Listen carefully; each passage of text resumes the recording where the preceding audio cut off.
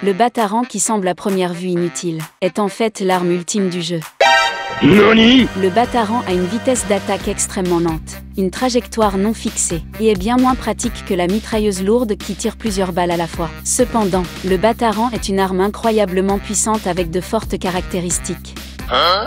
Au début, j'ai essayé de détruire autant de petits avions que possible. Cependant, en détruisant les ennemis, beaucoup d'étoiles tombent, avec lesquelles on peut renforcer notre arme. Grâce à la compétence canon principale avancée, le Bataran devient plus grand. Et voilà, une seule attaque suffit pour éliminer les ennemis, si la compétence super canon principale est débloquée. Félicitations, le jeu passe en mode facile. Le Bataran rebondit entre les ennemis. Les petits avions sont détruits en un instant. En même temps, ils peuvent aussi être utilisés comme tremplin pour frapper d'autres ennemis. Lorsque j'affronte le boss, tout ce que je dois faire est de viser une partie. Puis je peux facilement l'éliminer. Vous savez maintenant quelle arme choisir, n'est-ce pas?